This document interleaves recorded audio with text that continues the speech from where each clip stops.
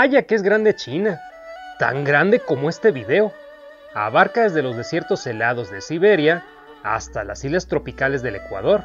Las fronteras de China han cambiado constantemente a lo largo de miles de años de su civilización, que es una de las más antiguas y más avanzadas culturas del mundo. Originalmente estaba formada por estados enemigos, posteriormente estos fueron unidos en un solo país por el rey Che de King en el año 221 a.C. Che de King se proclamó el primer emperador y su familia o dinastía gobernó durante años, hasta que fue derrocada. Desde entonces, cada periodo de la historia de China ha recibido el nombre de la familia gobernante. China comúnmente se divide en dos áreas. La China interior, o cultural podríamos decir, que es donde se asentó el imperio histórico chino, y la China moderna, o exterior, que incluye Manchuria, Mongolia interior, Xinjiang y Tíbet, inmensas áreas de terreno que los chinos consideraban países extranjeros hasta hace relativamente poco. La sociedad en la antigua China tenía una jerarquía estricta, en la que el emperador estaba en la cima y los campesinos en la base. La mayor parte de lo que queda de la China antigua tiene relación con la vida de los ricos y poderosos, pues solo sus objetos resistieron el paso del tiempo. Por otro lado, dado que los chinos inventaron el papel y lo usaban para escribir sus documentos, muchos de estos se perdieron con mayor rapidez que los de otras culturas que no usaban papel. Pocos edificios quedan, pero los objetos encontrados en las tumbas nos han proporcionado evidencias de cómo vivía la gente en la antigua China. Había cinco rangos en la nobleza de la antigua China. Estaban los Gong, los Hu, los Bu, los Si y los Nan, que en Occidente equivaldría aproximadamente a decir que eran el duque, el marqués, el conde, vizconde y varón. Los títulos nobiliarios chinos eran hereditarios, pero perdían valor con el paso del tiempo. O sea que si una familia no hacía nada que justificara su rango, la siguiente generación descendía de rango. Y así, hasta que el tataranieto del noble original se convertía en un plebeyo. El trabajo físico era una tarea para los pobres, y estos eran obligados a convertirse, ya fueran jornaleros, albañiles o agricultores. Esto para poder sostener a los ricos. La imposición de tributos se introdujo allá por el año 600 a.C. y los campesinos tenían que apoyar también en las guerras, ya fuera sirviendo como soldados o proporcionándoles dinero y comida. Las familias campesinas dependían en gran medida de los miembros que podían trabajar, o sea que los niños y los ancianos eran una carga constante. Sin embargo, a los ancianos se les trataba con respeto, y a los niños se les criaba para compartir el trabajo. El respeto a los mayores se mantenía incluso después de la muerte, pues se creía que los antepasados ofrecían oraciones para ayudar y proteger a la familia. Muchos campesinos no poseían tierra, eran siervos arrendatarios, que pertenecían a un propietario que los castigaba si no trabajaban lo suficiente. La vida agrícola china era dura. En mayo y junio de cada año había un torbellino de actividades, entre las que se cuenta plantar, cosechar, trasplantar las matas de arroz y recolectar los gusanos de seda. En cambio, entre noviembre y febrero había poca actividad y la mano de obra del largo verano ahora se convertía en bocas hambrientas para alimentar. Al trabajar descalzos en el arrozal y pisando el estiércol, los jornaleros quedaban expuestos a enfermedades. Lo ideal era tener un buey que tirara del arado, pero no siempre era fácil conseguir uno, ya que la mayoría de las manadas estaban en las estepas de la China exterior, mientras que las granjas estaban en la China interior. Sí, en algunas zonas había gente que alquilaba animales de trabajo, pero la mayoría de los campesinos eran tan pobres que tenían que trabajar sus campos a mano. El inmenso territorio chino determinó que sus diferentes regiones fueran casi como otros países. Cada una tenía sus propios cultivos y sus propios platillos. Y esta diferencia entre los estilos de cocina todavía persiste. En el sur, por ejemplo, la comida cantonesa se cocinaba ligeramente en aceite caliente, mientras que en el norte, en la cuenca del Yatsen, se concentraba más en las salsas agridulces. A diferencia de otras cocinas regionales, el arte culinario tibetano, mongol y manchú usaba muchos productos lácteos, mientras que en la provincia costera de Fujian se especializaban en delicados platillos de mariscos. El peculiar sazón condimentado de Sichuan se logró solo después de la introducción del chile americano, en el siglo XVI. Durante la dinastía Tang se introdujo una nueva variedad de arroz, la cual procedía de Vietnam y era de rápida maduración. Los canales construidos para el transporte y el alivio de hambre en China también llevaban agua a las áreas remotas. Esta se elevaba hasta los campos mediante un sistema de cadena y paletas, operado mediante un cigüeñal. Estos cambios, además del desarrollo de nuevas herramientas, como la grada, hicieron al cultivo de arroz esencial para alimentar a la creciente población de China. Sin embargo, la dependencia a un solo tipo de alimento podía causar problemas. Si se perdía la cosecha de arroz, el hambre afectaba a toda la población. En China había poco metal y los cocineros de la antigüedad picaban la comida antes de servirla. Los diminutos bocados se podían pinchar fácilmente con ramitas de madera o bien con palillos. Y de ahí es donde vienen los palillos chinos. La palabra china para los palillos es huaizi, que en español vendría a significar el apurador, porque apuraba la comida a la boca. Los palillos se usaban junto con un cuenco ligero, para que el usuario pudiera manejar la comida más fácilmente. El té era una bebida popular entre ricos y pobres, y se podía adquirir en muchas variedades para satisfacer cada gusto y bolsillo. Para el conocido té rojo se tostaban las hojas. Otros tipos de té que se obtenían con procesos y sabores diferentes podían probarse en una casa de té un popular lugar de reunión en la antigua China. En China al té se le decía cha. Sin embargo, en el dialecto local del sur, cha se pronunciaba como tai, de la cual se derivó la palabra té. Todas las variedades de té moderno descienden del original chino. Había pasatiempos buenos y malos, dependiendo del gobierno imperial. Se consideraba que cantar alabanzas al emperador asistir a obras aprobadas y el entrenamiento marcial eran una buena forma de fortalecer a la nación. Beber en exceso, el juego y las conductas indecentes eran reprobables. Las obras que ridiculizaban a la dinastía gobernante estaban prohibidas. La música y el canto, populares desde el siglo VII, derivaron con el tiempo en la ópera china. Ahí todos los actores eran hombres. Estos representaban cuatro clases de papeles. El Shen, que comprendía emperadores, generales y señores. El Qin, que abarcaba villanos, rebeldes y bandidos. El Dan, que eran los papeles femeninos. Y el Cho, que eran los cómicos. La gente común de la antigua China vestía ropa hecha principalmente de cáñamo o ramina. Sin embargo, en el siglo XIV se empezó a sembrar algodón traído del sur de Asia, que resultó más cálido y rentable. La ropa no solo era un artículo para mantener caliente el cuerpo, sino también un importante indicador de la posición social, y los funcionarios de alto rango debían cuidar su apariencia. La ropa china se decoraba a menudo con animales míticos, no nomás para adornar, sino porque ellos creían que esto protegía al usuario del mal y les traía buena fortuna.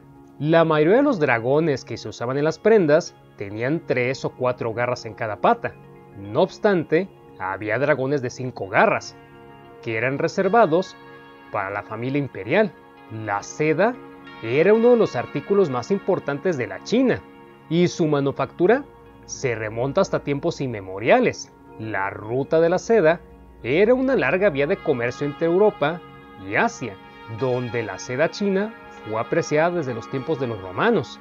Este ligero y suave tejido, de una cualidad luminosa y destellante, tenía gran demanda en el exterior, y las potencias extranjeras ansiaban conocer el secreto de su fabricación. Ya en el siglo VI, los espías europeos lograron descubrir la verdad. Se fabricaba con el finísimo hilo desenrollado de los capullos del gusano de seda. La riqueza y sofisticación de la antigua China creó algunos de los tesoros más valiosos del mundo. En los tiempos en el que el imperio era fuerte y estable, como en el apogeo de las dinastías Tang y Song, el arte chino floreció por todos los medios, incluyendo las estatuas de bronce, los textiles de seda, el trabajo de laca, los dibujos en tinta y la porcelana decorada.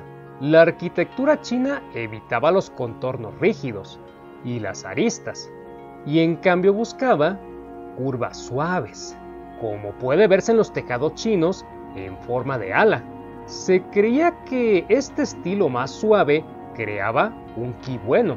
Un énfasis similar en las formas fluidas y la armonía natural se encuentran en otras artes.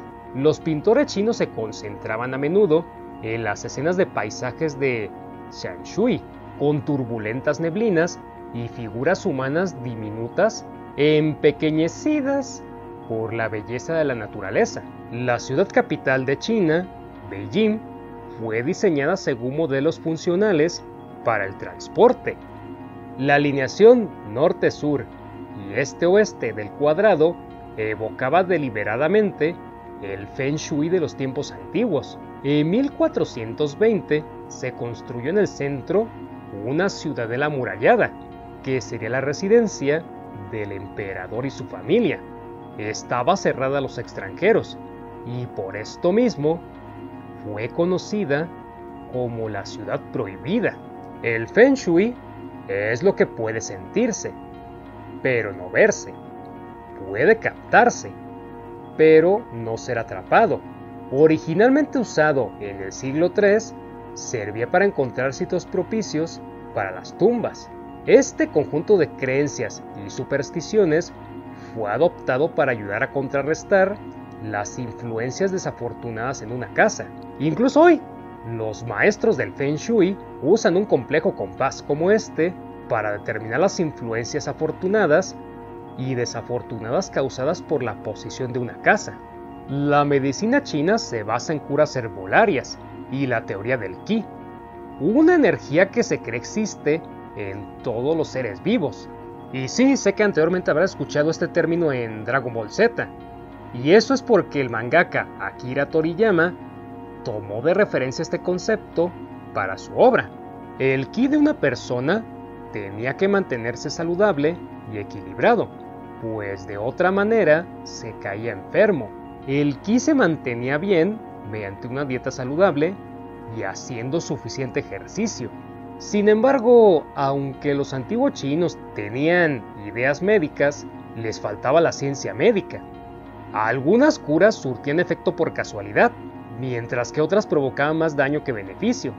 Ningún sistema podía demostrar qué curas funcionaban y cuáles no lo hacían. El recato tampoco era de ayuda.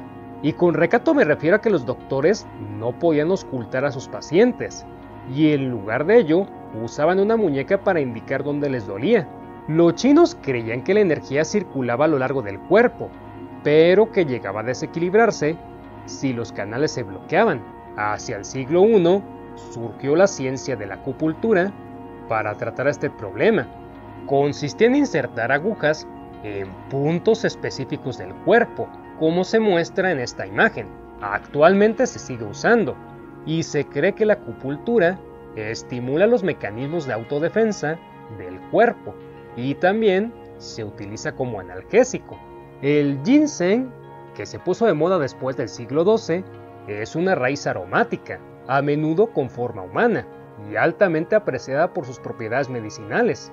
Todo el ginseng de China se consideraba propiedad del emperador, aunque bien, este podía conceder una parte a sus súbditos más leales. Se creía que una planta de ginseng se convertía en un hombre de sangre blanca si no se le tocaba durante 300 años, y que la sangre de ese hombre podía resucitar un muerto. Algunos malestares y dolores se trataban como oxibustión, que consistía en hacer saumerios de hoja seca de artemisa, aplicarlos en la piel y prenderlos, normalmente bajo un vaso, para mantener el calor.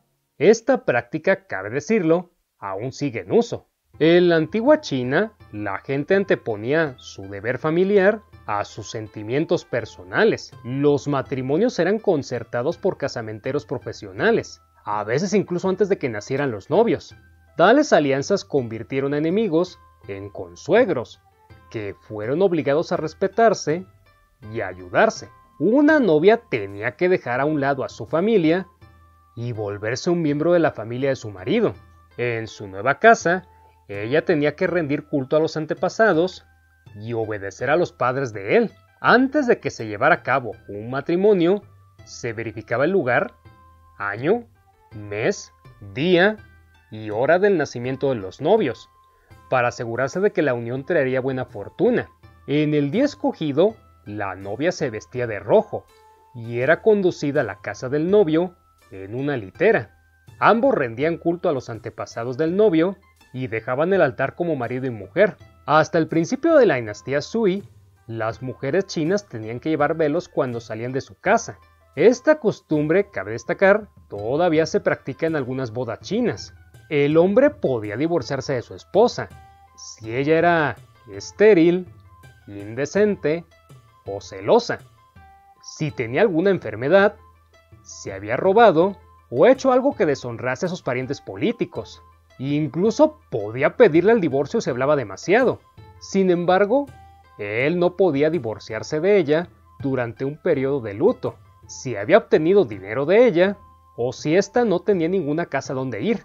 Según la filosofía de la antigua China, el universo era un lugar en constante búsqueda de armonía y de equilibrio, y aplicaba esto a los hombres y mujeres, considerando que el deber del primero era ordenar y el de la segunda, obedecer. La vida real, sin embargo, pues no era tan simple.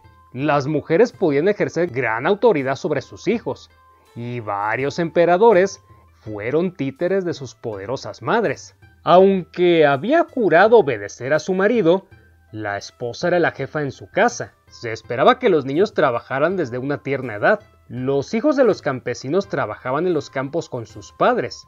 Desde los 7 años se les encomendaba a los niños tareas y responsabilidades de adulto. La edad china se contaba a partir de uno, no de cero, de tal manera que los niños contaban con un año al momento de nacer. En lugar de tener cumpleaños, todos debían de agregar un año a su edad cada año nuevo chino. Así, era técnicamente posible que un niño que naciera en año nuevo tuviera dos años a la mañana siguiente. Mientras que sus hermanos estaban en los campos, las niñas tenían que hilar y tejer. Una familia pobre temía el nacimiento de una niña, por machista que esto pueda sonar. Ella sería una boca más que alimentar hasta que pudieran casarla, punto en el cual tendrían que pagar una dote a la familia de su futuro marido. Pasara lo que pasara, la novia no tenía mucho que decir en relación a su destino. Según la tradición confuciana, se suponía que una mujer debía obedecer a sus padres hasta casarse, a su marido hasta la muerte de él, y a su hijo mayor hasta que ella muriera. En algunas partes de China, el clima es propicio para la agricultura, en otras solo para el pastoreo. La zona fronteriza del norte permite ambos, y a lo largo de la historia fue escenario de constantes luchas. Las mayores amenazas a China llegaron de las llanuras de Asia, de tribus como los mongoles y los hunos. Los soldados de China perfeccionaron su armamento para rechazar a los invasores bárbaros. Las armas de hierro sustituyeron a las de bronce durante el siglo VII a.C., cuando los chinos inventaron la ballesta. Desde el 500 a.C., montaron los caballos en lugar de usarlos solamente para tirar los carros. Las triples filas de arqueros y ballesteros mantenían una lluvia constante de flechas. Los aurigas y los jinetes penetraban las líneas enemigas y los soldados a pie atacaban con espada y lanza. La pólvora se usó por primera vez en fuegos artificiales durante el siglo VII. Hoy todavía se usan los cohetes para asustar a los malos espíritus en ocasiones importantes. Algunos también se usaron con fines bélicos, disparándolos a las líneas enemigas para sembrar el caos. Los invasores mongoles de Genghis Khan y Kublai Khan usaron por primera vez en China armas de fuego occidentales. El primer emperador ordenó que se construyera la Gran Muralla China para defenderse contra las invasiones de las tribus nómadas de las llanuras más allá de la China. En conjunto, tiene más de 6.000 kilómetros de largo y cuenta con una serie de atalayas a todo lo largo, aunque partes de ella datan del siglo III a.C. Las zonas más famosas son las restauradas durante las dinastías Ming, durante los siglos XV y XVI. En su extremo occidental es poco más que un banco de barro. No obstante, la Gran Muralla no siempre funcionó. En el siglo IV después de Cristo fue cruzada por los mongoles, que fundaron la dinastía Wei. En el siglo XII, los pueblos de las estepas se unieron bajo su gobernante más fuerte, Genghis Khan. Su nieto Kublai Khan conquistó China y fundó la dinastía Yuan en el 1271. Esta fue derrocada a finales del siglo XVII, cuando los manchú invadieron China y se mantuvieron en el poder hasta principios del siglo XX. En la antigua China se aplicaban varios tipos de castigos a los delincuentes. Los más leves consistían en azotes o colocarlos en un cepo de madera. El siguiente nivel implicaba el destierro por un tiempo limitado o permanente. La pena de muerte variaba según la gravedad del delito. El método más simple era la decapitación directa, pero a los verdaderos criminales como los que habían matado a sus padres, se les sometía a la terrible muerte lenta, que consistía en cortarlos en pedazos poco a poco, estando vivos. Algunos delincuentes eran azotados con un bambú aplanado. Había dos tipos de instrumento, el pesado y el ligero, y al condenado se lo golpeaba en la espalda. Sin embargo, el emperador Kang Chi de la dinastía Qing decretó que era preferible descargar los golpes en los glúteos, pues ahí había menos riesgo de dañar los órganos internos. China fue una civilización muy avanzada en la antigüedad. En la guerra contaba con ballestas y fuegos artificiales, y en la industria ya usaban molinos de agua para dar potencia a las forjas desde el siglo I. Pero la ciencia como método de comprobación era casi desconocida. En los siglos posteriores, China estuvo limitada por su propio sistema educativo, Incluso en el siglo XIX, la única manera de avanzar era estudiando a los clásicos, y los funcionarios desaprobaban a las personas que conocían las artes modernas, como la ingeniería, las máquinas de vapor o la medicina occidental. Aunque ya se usaba en China una forma de pergamino durante la dinastía Han, el legendario inventor del papel fue Kai Lun, quien murió en el año 114 después de Cristo. Se dice que hizo sus primeras hojas con lino viejo, estopa y pedazos de red para pescar. Normalmente se usaba papel hecho con paja de arroz o pulpa de bambú. Por otro lado se utilizaban hojas de papiro fuertes en las ventanas como sustituto barato del vidrio. En la antigua China se pensaba que era ofensivo imponerse sobre aquellos que estaban demasiado arriba o muy por debajo de uno mismo en rango. Y esto incluso se aplicaba después de la vida. Los devotos solo podían rogar a sus antepasados y familia, o a espíritus de alguna clase similar. Los chinos creían que el siguiente mundo era igual a este, y que podían enviar ayuda a sus antepasados quemando efigies de papel en el mundo real. El emperador oraba a los dioses más poderosos para conservar la tierra libre de inundaciones y de hambre. Algunas veces se usaron las catástrofes naturales como excusas para las revueltas, culpando al emperador por faltar a sus deberes divinos. Como en la China actual, no había una sola religión, sino varias doctrinas coexistiendo. El taoísmo fue fundado en el siglo VI a.C. por Lao Tzu. Era una filosofía que predicaba la armonía en todas las cosas, representada por la unión del caos y el orden, lo negativo y lo positivo, la tierra y el cielo en el símbolo del yin y el yang. Confucio trató de que el mundo fuera un lugar mejor, con reglas precisas en una escala reducida. Pensaba que si cada persona conocía su lugar en la familia, entonces se fortalecía cada pueblo, ciudad, provincia y finalmente el Estado entero. El confucianismo predicó la lealtad y el respeto a los antepasados. El budismo llegó por primera vez a China en el siglo I después de Cristo. Venía desde la India, aunque hay varias historias muy antiguas que hablan de misioneros budistas encarcelados por el emperador Qin, fueron rescatados por un ángel. Sin embargo, pues estas solamente son leyendas. Al principio fue una religión urbana, que después se extendió poco a poco a las zonas rurales, donde los creyentes la combinaron con elementos del taoísmo. Los budistas creían que solamente se puede ser verdaderamente feliz si se deja de anhelar las cosas y se trabaja para erradicar de la propia vida cualquier deseo. Su último objetivo es alcanzar la iluminación a través de la reencarnación. El mayor legado de la antigua China es la China moderna, a diferencia de otras civilizaciones antiguas, hoy todavía subsiste, más grande y más poderosa que antes. Pero hay muchas Chinas diferentes. Está la antigua civilización histórica, el inmenso estado comunista, las naciones del pequeño dragón chino, como Singapur y Taiwán, y las millones de personas de origen chino alrededor del mundo. Ya no hay ningún emperador, pero China sigue siendo una gran superpotencia y parte modular en la política y comercio mundial. El último emperador fue derrocado en el 1912, pero la República de China pronto tuvo dificultades. Después de la invasión japonesa y de la guerra civil, los republicanos fueron obligados a retirarse a la isla de Taiwán y el presidente Mao, un ex bibliotecario, proclamó la República Popular en 1949. Estados Unidos reconoció a los comunistas en 1973, cuando el entonces presidente Richard M. Nixon realizó una visita de buena voluntad. Si te gusta mi trabajo, por favor, suscríbete, activa las notificaciones y comparte el video con tus amigos. Eso es algo que me ayudaría bastante. Mi nombre es Ajay López y te deseo un día histórico.